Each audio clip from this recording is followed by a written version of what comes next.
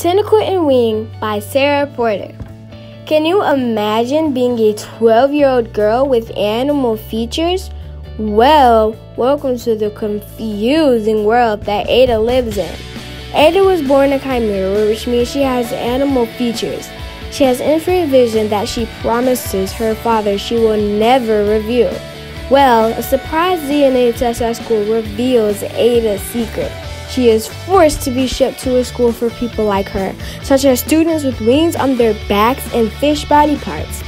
While at this new school, Ada soon realizes that the school may also be keeping a secret. This secret could change her entire world.